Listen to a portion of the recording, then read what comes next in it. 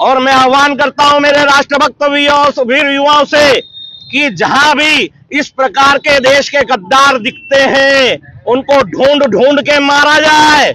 और मारा भी जाए जोश में जोश में और होश में।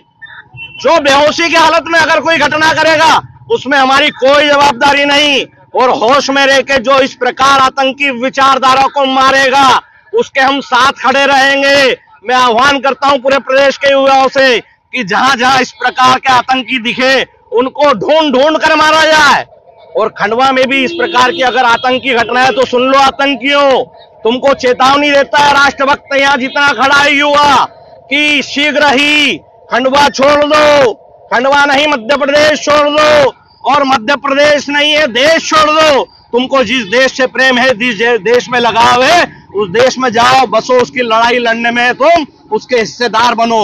हम पर यहाँ पर आकर इस पावन भूमि पर इस हिंदुत्व की इस राष्ट्रीय पावन भूमि पर अराजकता फैलाने का तुमको कोई अधिकार नहीं है। आज के झंडे किस तरह के दो झंडे हैं? आज जो झंडे हैं ये हमारा देश आतंक का समर्थन नहीं करता। पूरे देश ने नहीं पूरे विश्व ने देखा है कि इसराइल पर जो हमला हुआ था वो एक आतंकी हमला था। और आतंकियों ने वहाँ के जो निर्दोष नागरिक थे 130-40 उनको अपने कब्जे में ले लिया था। और उनको धीरे धीरे क्रमबद्ध मार रहे थे और आतंकी अनेक संगठन इसराइल के समर्थन में खड़े थे। कुछ समय पहले केरल में भी विधानसभा चुनाव के पहले एक रैली हमास के समर्थन में निकाली गई थी।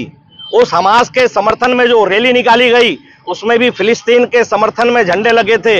लेकिन उनका विचार भारत को तोड़ना, उसमें एक हमास के बड़े कमांडर ने भारत को तोड़ने के लिए भारत में अराजकता फैलाने के लिए लोगों से, मुसलमानों से आह्वान किया था। और ये उसी आह्वान का परिणाम है कि जगह जगह इस प्रकार की अराजक घटनाएँ कर रहे हैं। खंडवा का युवा तुमको छोड़ने वाला नहीं है। जोश में और होश में ढूंढ ढूंढ के मारेगा।